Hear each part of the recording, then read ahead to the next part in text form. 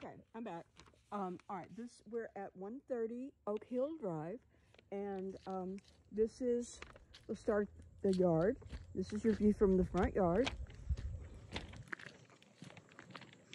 You have neat little houses all around. Somebody has an RV over there for family. Kind of see the see the neighborhood.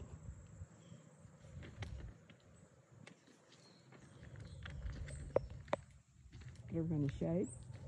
Okay, you have a nice yard, nice front yard. This is um, this gives you 1.5 acres. The other house you saw had a little bit over three acres. So, um, and this one is 165. And I'll kind of do a, uh, I'll go look at the other price. I think it was, I want to say 210. Um, so we'll, I'll give you the information about both of them. And um, you can see here, looks like the neighbor it was a neighbor or this owner, uh, has a partial fence over here. Needs a little repairing over there.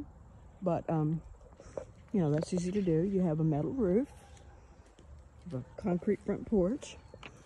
Uh, I have a giant tree here. Uh, this actually looks like a tree called mimosa. This, this is a mimosa tree. Um, they're really beautiful. They have pink flowers and of course they bloom in the spring and through the summer.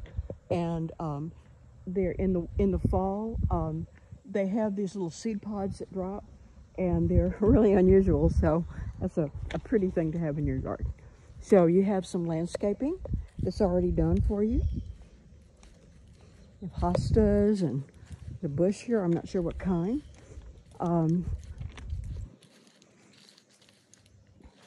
But if you're, um, if you, you or someone in your family uh, likes um, landscaping, this has already started. And this bush has been cut back so it doesn't get too tall. These could use a little love, but you got a good start. And these are probably boxwoods. That, I guess that one too is a boxwood. And they're kind of a standard for um, hedges and shrubs, at least here in this area. You have a little bird bath over there and you, ha you have plenty of room to put rocking chairs or like a bench they have here or a table and a couple chairs on the front porch.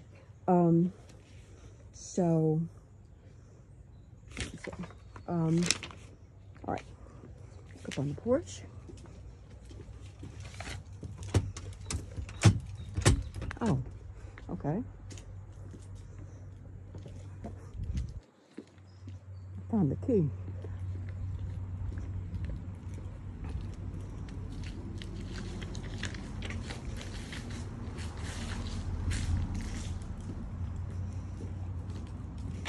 Oh.